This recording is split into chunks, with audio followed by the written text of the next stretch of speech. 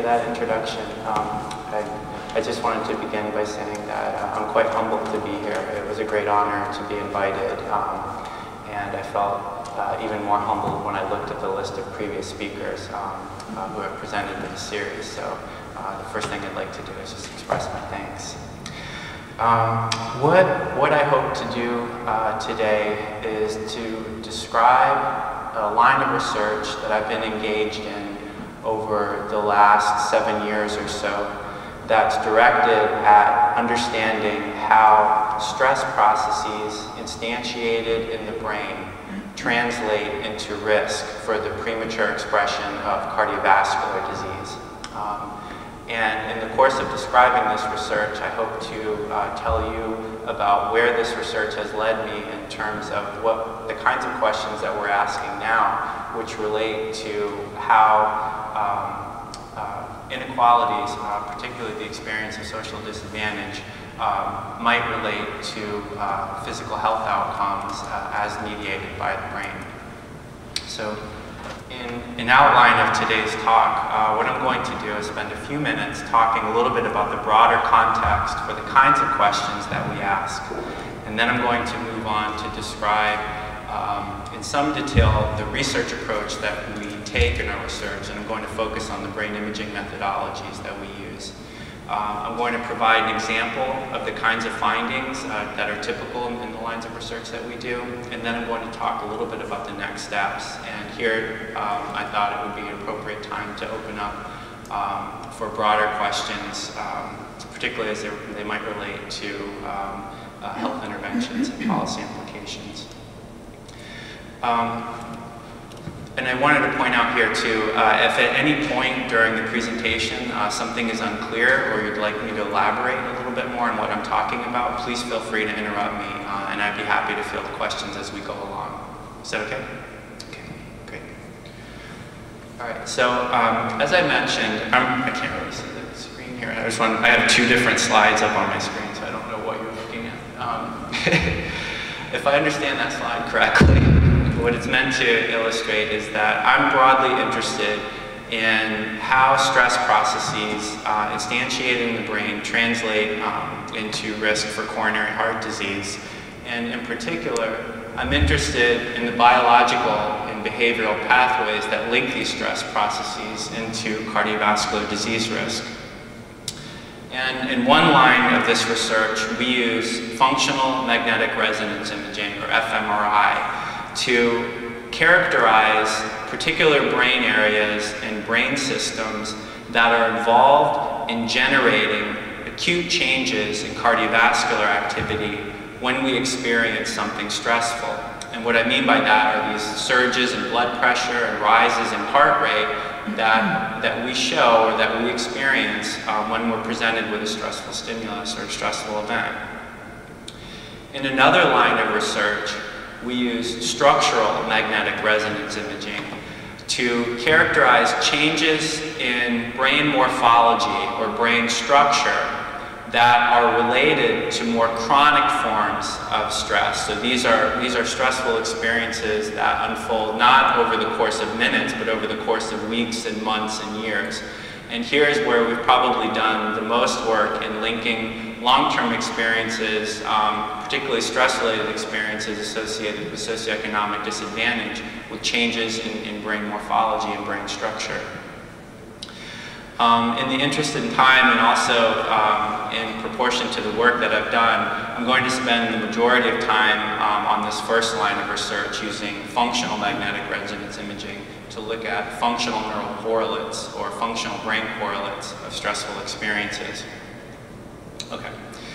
Now, when, uh, when, when Andrew invited uh, me to come give this talk uh, in, in the course of one of our conversations, he said, that you'll like Glasgow. It's a lot like Pittsburgh. And I, being from Pittsburgh, what I, what I heard him say was that we have terrible weather most of the year and football is very popular, which is a good, uh, a good way to describe Pittsburgh. So I thought it was only appropriate to start with an American football story, um, perhaps the most famous uh, football story among health psychologists in Pittsburgh where I do research. And this is a story about the last few minutes of um, uh, the Pittsburgh Steelers and the, um, the, Indianapolis Colts, who were in, um, in a playoff game to go to the Super Bowl.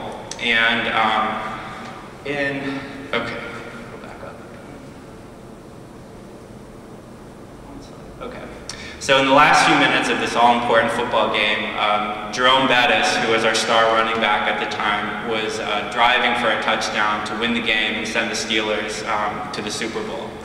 And I think this was in, this is quite literally in the last 50 seconds of the game, and the score was very close. And in the course of driving for this touchdown, um, Bettis fumbled the football, which was a very dramatic event, and the ball, uh, football was picked up by Nick Harper of the Colts and he was uh, running for a touchdown, and if he would have scored this touchdown, he would have won the game and um, put the Colts in the Super Bowl. The last person he had to beat was our quarterback, uh, Ben Roethlisberger, who was falling down backward as Nick Harper was running by him, and he reached out with one arm, grabbed his leg, and tackled him, and won the football game for the Steelers. Okay, so this is all a dramatic event unfolding in the course of a few seconds. So as you can imagine, you know, all of Pittsburgh was quite excited by this play, but it was too much for Terry O'Neill, who had a non-fatal myocardial infarction while watching this. And he was quoted as saying, uh, it was too much for me to handle. He was in a bar on the south side of Pittsburgh watching this, and literally, as Ben Harper was running for the touchdown, he had a heart attack. Non-fatal heart attack, he's still alive, it's okay. Um, I bring up this story because when, when most people think about the relationship between stressful experiences and cardiovascular disease, it's typically in terms of late stage events. And what I mean by late stage events are myocardial infarctions or sudden death that occur very late in the disease process. But coronary heart disease, particularly atherosclerotic coronary heart disease, is a progressive disease that unfolds over the course of decades, and it begins quite literally, you know, around the first decade of life. And cardiovascular disease progresses through these preclinical characteristic changes um, that are often indicated by the formation of fatty streaks and atheroma that lead to vessel occlusion and ultimately to plaques that may rupture um, during acute events. And my research is focuses on, what my research is focused on is patterns of stress physiology that people experience or show in the course of everyday life over, over several decades that accelerate this disease process that lead to the premature expression of these late stage events. So in that sense, what I'm going to be talking about is how stressful experiences mediated by the brain relate to these preclinical changes in um, coronary heart disease. And one of the particular um, uh, stress-related uh, factors that I'm interested in that I believe represents a model uh, process that, or pathway that links stress processes instantiated in the brain with coronary heart disease risk is what, I, is what people refer to as cardiovascular reactivity to stress. So going back um, to what I said earlier, these are these acute changes in blood pressure and heart rate that people show during an acute stressful experience. And as I'm going to describe next, the reason that this that cardiovascular reactivity has attracted a lot of attention, particularly among health researchers and epidemiologists, is that these changes in heart rate and blood pressure appear to play a role in the etiology of coronary heart disease. Okay. Now, just to define some terms. Um, again, cardiovascular reactions are, are a hallmark of the prototypical response to an acute stressor. Um, they're reliably characterized by an acute increase in blood pressure, acute rise in blood pressure, an acute rise in heart rate, an increase in the contractile force of the heart, um, and also by uh, an increased constriction of your blood, of your uh, blood vessels. And in the short term, these, cardio, these changes in cardiovascular physiology are adaptive. They provide um, metabolic and hemodynamic support to large muscle groups to facilitate adaptive action, like fight or flight, as expressed by this naked and enraged man. Um, and these changes in cardiovascular physiology have a well-described uh, functional neuroanatomy and that is, that is to say that we know a lot from um, animal lesion and stimulation studies that there are particular parts of the brain that are involved in generating these peripheral cardiovascular changes. Um, the second point that I want to make, and this is probably one of the most critical points, is that there are wide individual differences in cardiovascular reactions uh, to stress that are linked to many um, what you can label as psychosocial risk factors for heart disease, like socioeconomic status, um, individual differences in temperamental hostility, and so on. Um, there are also individual differences in the sense, and this is again one of the most important points that I'm going to make, is that some people are characteristically high reactors. That is, some people just have a trait-like tendency that whenever they're provoked, they show a very large rise in blood pressure, a very large rise in heart rate that they display pretty early in life and it stays with them over time. So in this sense, um, you can imagine that if someone is if someone is easily provoked and they show surge in blood pressure every time you know you get a rise out of them, these are the individuals who are at risk for showing premature um, uh, coronary heart disease outcomes. And uh, just to, uh, to, to, further elaborate on a point um, that I made earlier, that individual differences in cardiovascular reactivity have long been linked to, to coronary heart disease, and that's because there's a reliable relationship between exaggerated cardiovascular reactions to stress and a number of outcomes. So for example, high reactors are more likely to show premature hypertension. So that is, if you take someone at, um, you know, when they're 20 or 30 years old and they don't have hypertension, they don't have cardiovascular disease, and they're a high reactor, and then you assess their health, you know, many, many years later, you can use the magnitude of their blood pressure response to a stressor to predict whether they're going to go on to develop hypertension, um, whether they're likely to show an enlarged heart or ventricular hypertrophy, um, and also whether they're likely to show signs of premature atherosclerosis. So, um, so that I hope provides some context for the kinds of questions that I, I ask in my research. I'm interested in the pathways linking stress processes instantiated in the brain to, cardio, um, to cardiovascular disease risk, and one of the particular pathways that I'm interested in are these acute changes in cardiovascular reactivity to stress. And now what I'd like to do is describe a little bit about the kind of research approach um, that I take in, in, in the work that we do. Okay, so um, in most epidemiological studies and in um, uh, most, most, health psychology studies of cardiovascular uh, reactivity and health, what we do is we have people come into a lab and we have them perform uh, a task, a standardized task that most people find distressing or stressful. Okay? And one of the most famous tasks and most widely used tasks uh, is a modified version of the Stroop color word interference task. Raise your hand if you've ever seen this task or know about it before. Okay, so quite a number of you. All right, so for those of you who don't know anything about this task, the goal um, is to identify the color in which this center word is shown. All right, and you do this by selecting the word at bottom that names the color of this word. All right. So in this in this example, who can tell me what the correct answer would be? What's the correct? Yellow, right. Okay, so the correct answer is yellow. So down here, you have to select the word yellow because it names this color. And you have to ignore or suppress your tendency to basically want to select blue because it matches the word, or select this, this um, the word red down here because it's in the same color. So it's kind of a nasty task. We make it even, even nastier by titrating uh, people's performance so that they can never do any better than about 60% accuracy. So if you get a few right, you know, in a row, then the trials start coming at you faster and you have less time to respond. People hate this task, okay? Now what we find in epidemiological settings, and this kind of illustrates a point that I made earlier, is that if you, if you get about you know, 200, 300, 400 people to come into the lab and perform this same exact task, what you find is that it will create a distribution of reactivity. Okay? So what we're showing on the, on the x-axis down here is the change in systolic blood pressure from a resting state to when people are doing this task, all right?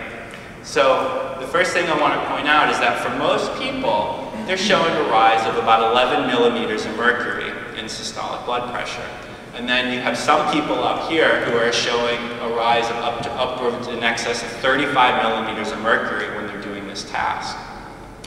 These individual differences are reliable. So you can have the same person you know, on, on different occasions, have them do the exact same task, and they're very likely to show the same exact change in, in blood pressure reactivity. And this illustrates the point that this is like a trait-like characteristic of people. And epidemiologists and health psychologists and people interested in stress science are very interested in the people out here because these are the ones who are at risk for premature, for developing premature cardiovascular disease. Am I clear so far on kind of the research? Great. Um, and again, I just wanted to point out that one of the ways in which we've established this relationship is to look at markers, preclinical markers of atherosclerotic cardiovascular disease, and then relate them to the magnitude of the cardiovascular reaction that they showed um, in the lab. And one of the most uh, widely used markers of uh, preclinical atherosclerosis that I use in my research and that, that other people use in this field is a measure of carotid artery intima thickness. Okay. And carotid uh, IMT for short can be obtained by, by Doppler imaging, uh, ultrasound imaging of the carotid artery, so it's non-invasive. Um, and uh, again, we're imaging the carotid artery and we're taking, what we're looking at is the thickness between the intimal layer of the artery, which abuts the lumen or the vessel wall, um, and the medial layer of uh, the carotid artery, which can be quantified um, quite precisely on ultrasound images. So um, what we typically do is measure uh, the intimal and the medial thickness, so this distance um, in millimeters over a segment, and then we'll aggregate all these measurements to come up with uh, an indicator of IMT. Um, IMT, again, is, is a surrogate uh, non-invasive marker that shows, that's been linked both in prospective and cross-sectional studies with cardiovascular reactivity. Um, so this is an example. On my computer, it's an example. okay, now we it. Um, so this is an example from the, the Kuopio ischemic heart disease study.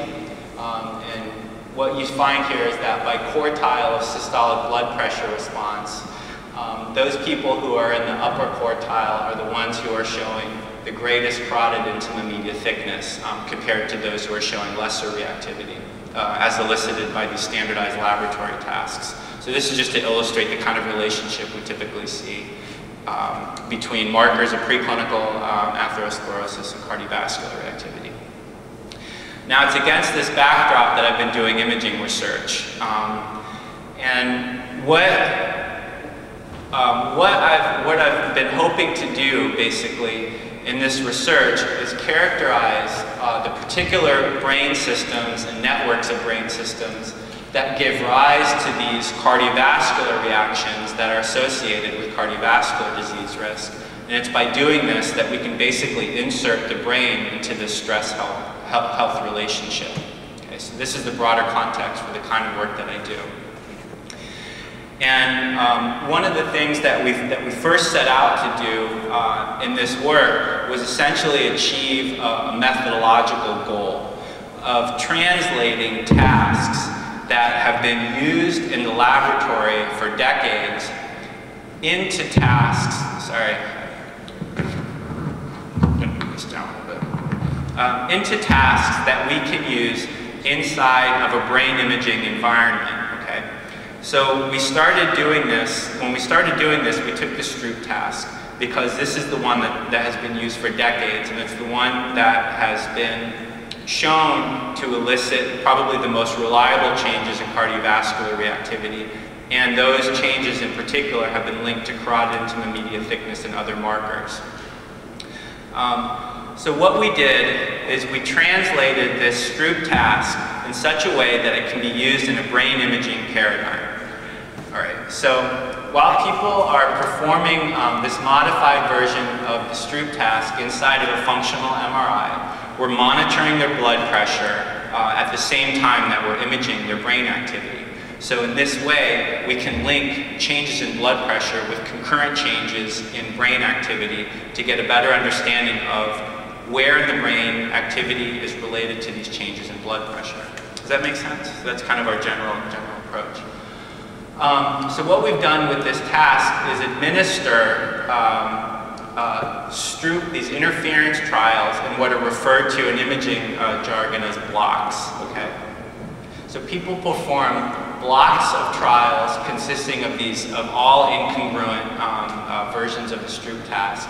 So they perform one trial, then the next trial, then the next trial, over the course of about a minute. And we titrate their performance again so that they can never do better than about 50% accuracy. So it's quite frustrating. And then at the end of that block, we, we take a blood pressure reading while they're inside the scanner. And we're imaging their brain activity um, all the while.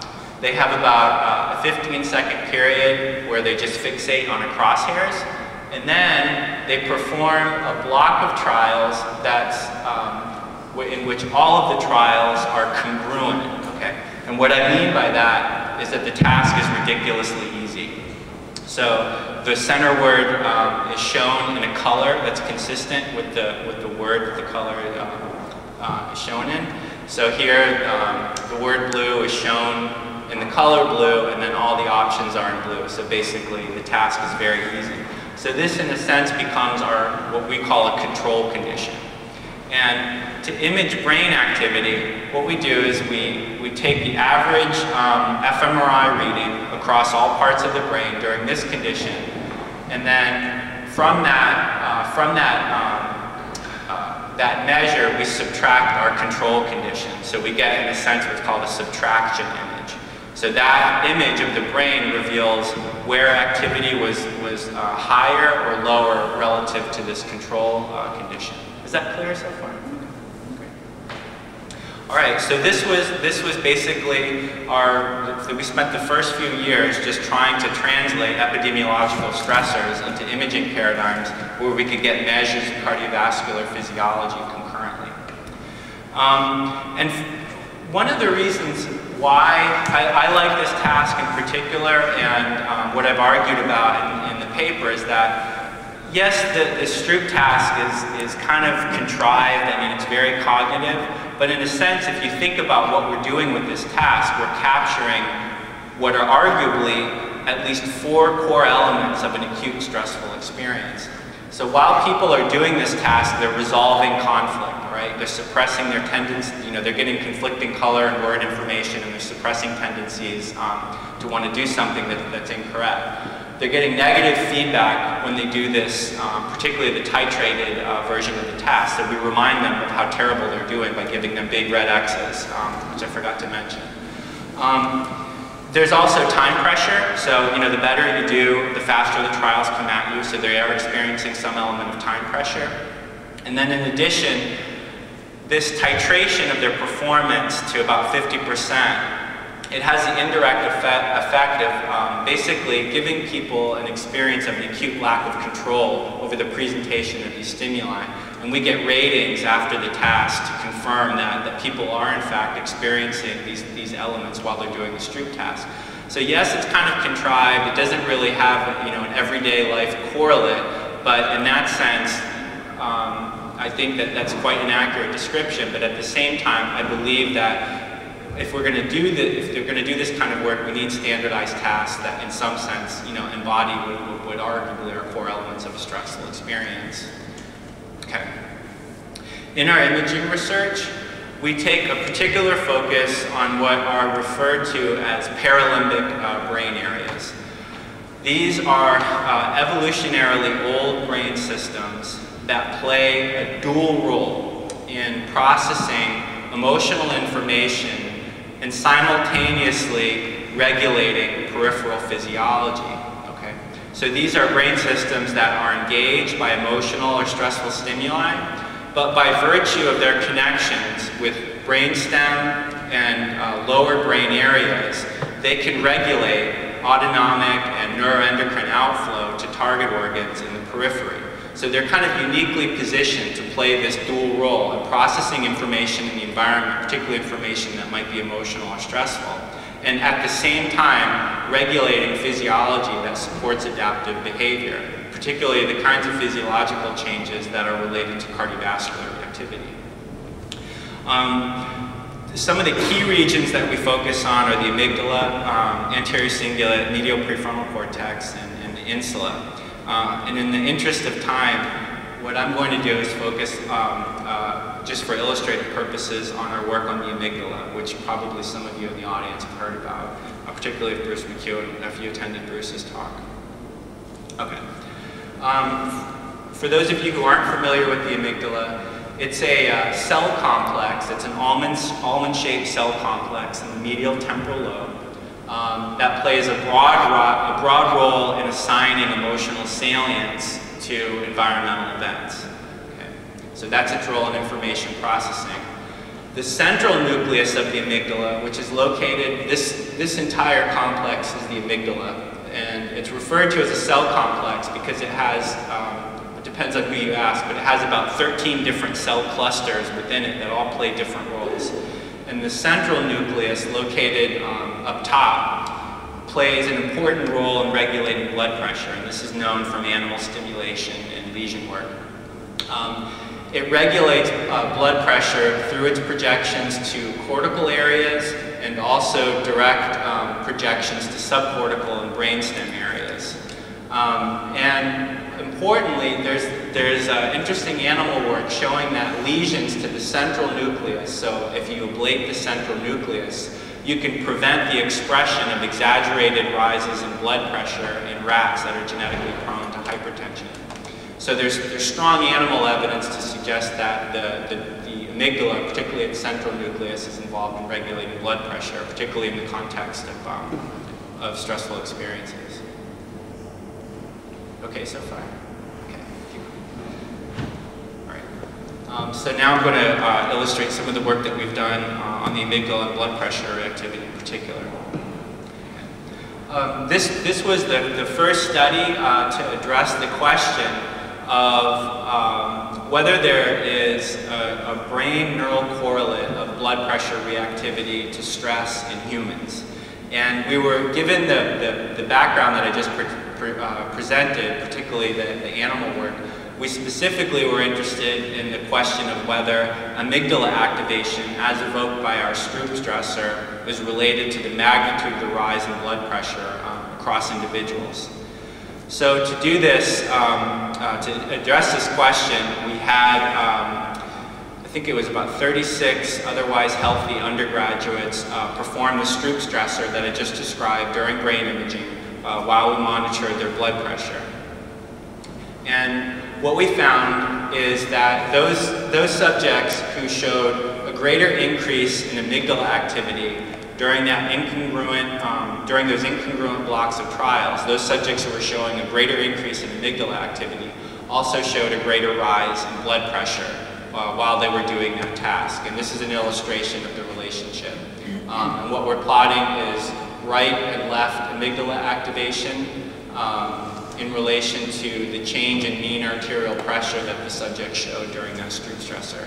And the relationship was positive. It wasn't perfect, but it supports this notion that, at least in humans, the amygdala appears to be functionally involved in, in mediating uh, blood pressure reactivity to the stressor.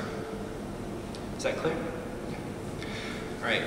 Based on this work, um, the next question, one of the next questions that we asked is, given the relationship between uh, blood pressure reactivity to stress and uh, preclinical atherosclerosis as, as reflected by intima media thickness. And also this finding that amygdala activation was related to blood pressure reactivity. The next question we asked was whether amygdala reactivity might be related to intima media thickness. So to beginning to trace this pathway from brain to cardiovascular health. Um, the outcome measure that we use is the same one that I've been talking about, uh, intima media thickness. Again, it's an indirect indicator of preclinical atherosclerosis that you can obtain uh, non-invasively by ultrasound. Um, IMT, which I forgot to mention earlier, has been validated against post-mortem measures of atherosclerotic disease. And increased uh, IMT is clinically relevant insofar as it predicts stroke incidence, infarction, and other cardiovascular events in epidemiological studies. So this is the outcome measure that we're trying to predict in this study. Um, here, instead of using the Stroop stressor, we used a task that was developed by, by my colleague Ahmad Hariri. Um, and this is a canonical uh, amygdala reactivity paradigm. As I mentioned earlier, the, the amygdala is involved in assigning emotional salience to environmental events. And the amygdala is particularly sensitive to um, social information, particularly socially threatening information. And in this task, which is uh, very, very easy, it's not stressful, um, but the objective is to choose which face at the bottom of an array matches the face in the center. Okay, so you image amygdala activity while people are performing blocks of these kinds of trials. And then you compare that with a control condition in which the objective is simply to match the shape to um, match the shape at bottom that matches the shape at top. So again, what we're doing is we're taking a difference image. And so in that way, you can look at where in the brain activity is going up relative to this uh, control condition. Um, doing this task uh, actually elicits reliable or, or, stable individual differences in amygdala reactivity. So in a study um, that was done by my colleague Steve Manuck at the University of Pittsburgh, um, he, had, uh, sub, he had people complete this task about a year apart. And he looked at the relationship between amygdala activation at time one and then amygdala activation about a year later. And he found actually, even in a small group of people, fairly stable individual differences in amygdala reactivity to this task. So giving support to the hypothesis that if you're a high amygdala reactor at one time, you're likely to be a high re re uh, amygdala reactor at another.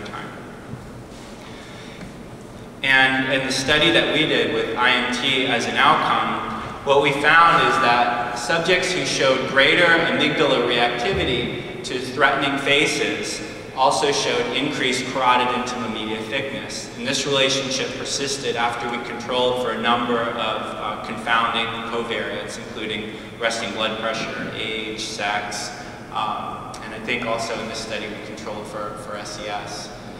So um, so again, the, the, the, bottom line here is that subjects who are showing greater amygdala reactivity to these threatening faces are more likely to show an increase in carotid intima media thickness.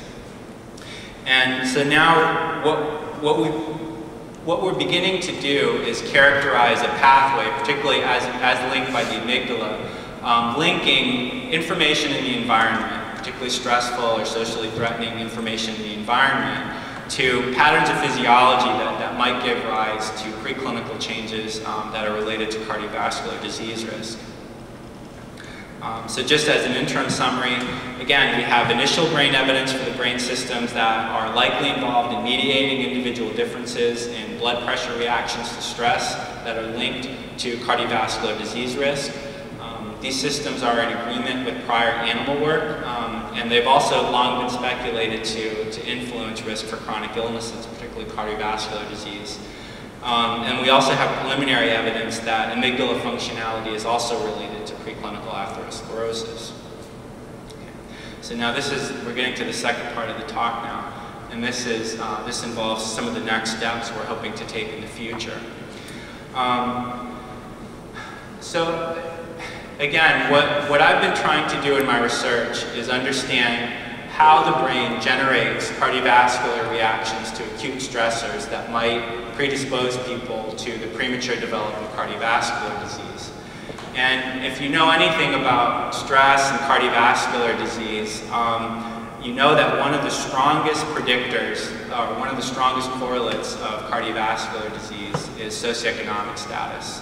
And that is to say that cardiovascular disease, along with many other chronic illnesses, track a socioeconomic gradient such that being from disadvantaged environments or chronically experiencing um, socioeconomic disadvantage is related to um, a premature expression of a number of chronic, chronic illnesses, particularly cardiovascular disease. So what we've been trying to do is understand or characterize some of the stress-related neural correlates of, of SES. Um, and th this is not, this is by, by no means a, an easy or simple uh, question, um, and, that, and that is because, as many of you know, socioeconomic status is both a multi-level and multi-dimensional construct um, that can affect health throughout life. And I think, you know, in the sense that it's multi-level, um, indicators of socioeconomic status can be measured at the level of the individual all the way up to the level of entire countries. Okay, um, It's multidimensional in the sense that you know, monetary, occupational, and educational dimensions of, of SES can be measured um, uh, subjectively or objectively. So objectively, um, by taking indicators of household income, um, obtaining uh, indicators of uh, areas of, of residence, um, uh, and also uh, by you know asking questions about educational attainment. And, and um, these, these indicators of SES, uh, or these dimensions of SES, that can affect health at you know, multiple levels can also influence disease risk throughout the entire lifespan. And the correlates of, of SES range from genetic to, to environmental levels. And in our research, what, what we've taken a particular interest in is subjective dimensions of SES. And we've been trying to relate um, patterns of brain morphology and brain functionality, particularly to subjective dimensions of SES. Um, for those of you who, are, uh, who might be unfamiliar with this concept, uh, subjective socioeconomic status refers to one's perceived standing in a social hierarchy. Um, it's typically anchored to educational, occupational, um, and monetary indicators that are most often um, measured at the level of the individual or at the level of someone's parents. Okay. Um, subjective SES has attracted a lot of attention uh, recently because it's been related to a number of health outcomes independently of objective indicators of SES. So for example, um, there's replicated evidence that low subjective SES is related to poor self-reported health, um, a non-habituating uh, cortisol uh, reaction to an acute stressor. So that is a rise in the stress hormone that doesn't seem to habituate after repeated presentations of the same stressor. Uh, it's related to an exaggerated rise in cortisol in the morning hours. Um, it's related to the metabolic syndrome, which is a clustering of risk factors for cardiovascular disease, including dyslipidemia, uh, central obesity, um, uh, hypertension, and uh, insulin sensitivity. And it's also a predictor of common cold susceptibility. And most recently, um, in our own work, we found it to be related to intima media thickness as well. Okay. So in the States, um, the subjective SES is typically measured uh, by the, what's referred to as the MacArthur ladder. And this is a deceptively simple yet complex uh, measure where you give people a ladder um, and you ask them to place themselves on where they think they stand on this ladder in relation to other people in the United States. And this is the instruction set that they, that they get if you can read this. So we ask people, um, Think of this ladder as representing where people stand in the United States. At the top of the ladder are the people who have the most money, most education, and most respected jobs. At the bottom are the people who have the least money, the least education, the least respected jobs or no job. The higher you are on this ladder, the closer you are to the people at the very top. And the lower you are, the closer you are to the people at the very bottom where would you place yourself on this ladder? And then we ask them to place an X on the rung where they think they stand at this time in life relative to other people in the United States. And we simply translate their X of where they put themselves on this ladder into a numerical score, where a lower ladder ranking means lower subjective SES and a higher ladder ranking means higher subjective SES. Okay. So in our work, we've been correlating these ladder rankings uh, measured at the individual level and also at the parental level indicators of brain structure and function. And again, we're paying, we're uh, taking a particular uh, interest in um, paralimbic brain areas. Um, and in this first slide, I'm going to show you um, some of our work relating ladder rankings, adult ladder rankings measured at the individual level um, uh, to brain morphology, particularly within the cingulate. Um, the cingulate uh, cingulum means belt in Latin, so the cingulate is a belt um, that surrounds the corpus callosum, uh, this white matter tract that uh, connects the two hemispheres of the brain. It's part of um, um, what Brodmann originally referred to as the limbic lobe. Um, it plays a, a, dominant role in processing emotional information and also regulating autonomic and neuroendocrine physiology. So this, uh, the cingulate is densely networked with areas like the amygdala and also sends direct projections to brainstem areas that regulate autonomic outflow to the heart and blood vessels and also regulates the hypothalamic pituitary adrenal axis, uh, which is, is reliably engaged by stressors. Um, and what's also interesting, and I think you might have heard some of this work in Elizabeth Gould's talk, is that areas of the cingulate cortex show characteristic changes in structure with chronic stressful experiences. So rats that are exposed to chronic stressors begin to show changes in neural structure, particularly in areas like the cingulate. So dendrites begin to retract, cells die off, um, and there is a characteristic loss of, of, of gray matter or brain tissue volume, uh, particularly in prefrontal areas uh, with chronic stressful experiences. And what we found um, in a study of 100 community-dwelling adults who were free of, of, any health condition, particularly mental health condition or physical health condition, um, we found that people who ranked themselves lower, so they were putting themselves lower on this MacArthur ladder, showed a reduction in gray matter volume in anterior cingulate cortex. And this relationship persisted after we, we controlled for a number of other um, uh, confounding factors, including um, age, sex, uh, total brain size, um, depressive symptoms, um, dispositional pessimism, perceived stress, uh, hostility, negative affect, um, hostile attributions to other people, and also markers of individual objective SES and objective community level uh, SES that we got from census tract information about neighborhoods of residence. So what this suggested was a very unique relationship between you know, perceiving yourself as standing lower in a social hierarchy and a reduction in gray matter volume uh, in the anterior cingulate cortex. Is this finding pretty clear to everybody? Some have nodding. All right.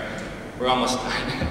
um, one of the, the next studies that we did in this area, um, we shifted our focus from the cingulate to the amygdala, and we also took a, uh, more of a developmental perspective. And here what we asked is whether uh, subjective childhood SES is associated with amygdala reactivity to threatening or um, ambiguous emotional facial expressions. And the, the rationale for, for asking this question is as, is as follows.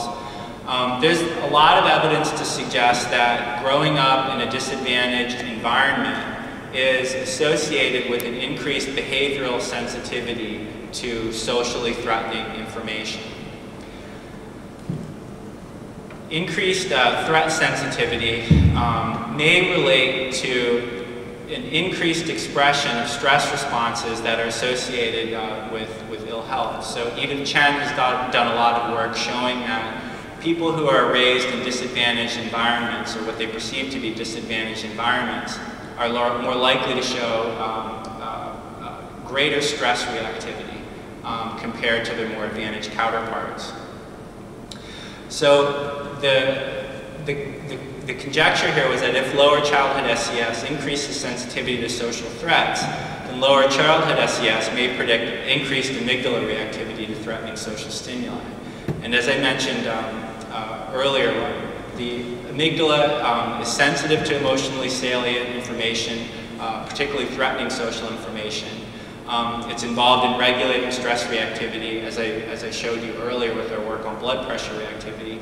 And also the amygdala is an area that um, shows a lot of developmental plasticity. So it's, it's highly susceptible and influenced by early environment, early environments. And this is known through um, animal work, particularly a lot of the work that Michael Meaney has done.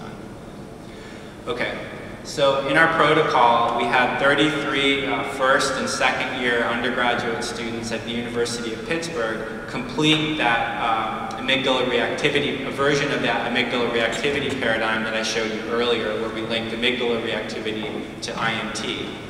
And we had the subjects um, complete three different conditions for this amygdala reactivity uh, task. In one condition, they did shape matching in which all the faces were angry. In another condition, they did um, face matching in which all the faces were neutral. Okay, so that is they didn't they weren't showing a particular um, emotional facial expression. And then finally, um, they completed a condition in which all of the faces were surprised. Now, surprise faces are interesting because they're quite ambiguous. You can be showing surprise because you're about to get hit by a car, right? Or you could be showing surprise because you just found out that you won the lottery. So it could be both a negative and a positive event that leads to the same facial expression. So they're quite ambiguous. So in this way, what we were able to do is look at the specificity of the relationship between amygdala reactivity to these different kinds of facial expressions and reports of subjective childhood SES. Now, um, what I'm showing here on the right is just to point out the fact that the amygdala is engaged by all of these facial expressions. So your amygdala will show increased activation to surprise faces, it will show activation to neutral faces, and it will show activation um, to angry faces. And what we're trying to do is capitalize on the variability, the individual differences in the magnitude the rise in activation to these different facial expressions and then link that to our measures of SES. Okay. And all the faces were referenced to this control condition. And um, in our protocol, we had people um, rank their parents on the MacArthur ladders. And we basically gave them the, the, same instruction set, and we simply asked them to rank where they thought their mother stood and where they thought their father stood up until the time when they moved out of the house. Um, so here, you can think about our design as we have these, you know, 18 and 19 year old kids. So basically, they haven't yet attained their own adult SES. So in a sense, we're kind of controlling for adult SES. And what we're trying to capitalize on is variation in the subjective SES. Um, the mother and the father ladder rankings were highly correlated at about 0.8, so we averaged them together to get an aggregate measure of childhood SES. And what we found is that the lower you ranked your parents on these ladders, the greater the amygdala reactivity you showed specifically to threatening facial expressions, such that, you know, if you ranked your parents higher on these ladders, these are standardized ladder ranking scores, the higher you rank your parents, the less amygdala reactivity you showed to these threatening faces.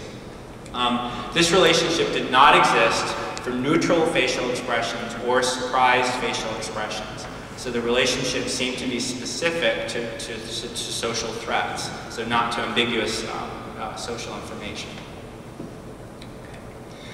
All right, so um, now in, in, winding down, some of the, the questions that we're addressing currently, so the work that I'm doing now, is um, we are asking whether there are prospective associ associations between um, uh, neural reactivity to behaviorally salient stimuli um, and markers of preclinical disease. So that is to say, we're trying to use imaging to predict, brain imaging to predict future risk uh, for preclinical atherosclerosis. So we're doing a study right now where we're having people complete um, our Stroop stressor, and then we're bringing them back in three years later um, to measure their carotid IMT again, so that we have, so that we can look at trajectories of increases in carotid IMT and try to predict those trajectories based on activation to our stressors. With the hypothesis being that those individuals who are showing greater activation in areas like the amygdala to stress are more likely to show an accelerated progression of atherosclerosis over the course of multiple years. Um, the other question that we're trying to address now is whether individual differences in stress reactivity, um, particularly as orchestrated by the brain, partly link measures of SES to cardiovascular disease risks. That is, we're trying to trace a pathway essentially from SES to brain function to peripheral physiology like changes in blood pressure and heart rate to markers of preclinical risk, like carotid intima thickness. Does that, does that make sense? So this is some of the work that we're doing um, at this moment, and unfortunately, it's, it's at, at an early enough um, stage where I don't really have any summary slides or early data to, to share with you. Okay, so I'm about out of time now, which is good because the last slide, uh, I'd like to give thanks to my um, colleagues uh, and collaborators who have contributed quite, substantially um, to this work. And again, I'd like to thank you all uh, for listening to me and inviting me here. It was quite humbling this is quite an enriching experience.